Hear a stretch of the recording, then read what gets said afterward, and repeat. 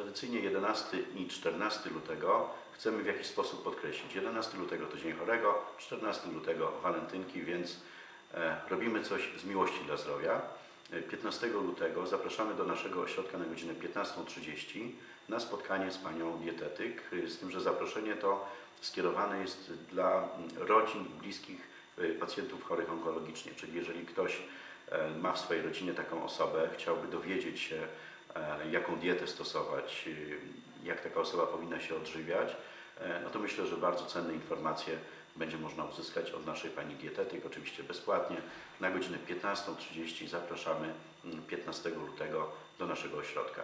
E, Dzień później, czyli 16 lutego, e, bezpłatna mammografia mm, od godziny 9 do godziny e, 15. Tutaj przed naszym ośrodkiem pojawi się mammobus.